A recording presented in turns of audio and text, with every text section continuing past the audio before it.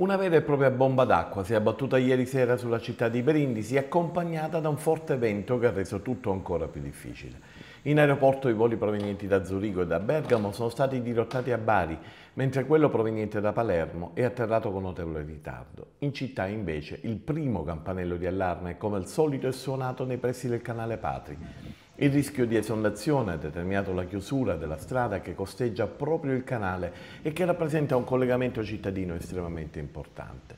Gravi difficoltà anche per chi doveva recarsi nel rione Casale, visto che il lungomare Americo Vespucci e via Ciciriello sono diventati intransitabili sia per gli allagamenti della sede stradale che per la caduta di rami di alberi inondati dall'acqua anche i due sottopassaggi pedonali che conducono nella stazione ferroviaria, mentre nel rione Sant'Elia si è registrato il solito allagamento in viale Caravaggio ad angolo con via Martini.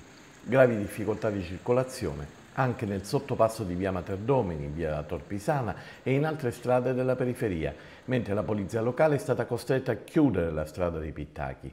In via Provinciale San Vito sono saltati numerosi tombini, ovviamente gran lavoro per i vigili del fuoco che sono stati chiamati a intervenire sia per porre in salvo persone rimaste intrappolate in auto che per allagamenti di cantine e scantinati. A Polizia Locale e a Protezione Civile invece il compito di chiudere strade e prestare aiuto a chi si è trovato in maggiori difficoltà. Il fatto sconcertante è che tutti questi problemi si ripetono puntualmente ogni volta che sulla città si abbatte una bomba d'acqua, peraltro sempre più frequenti.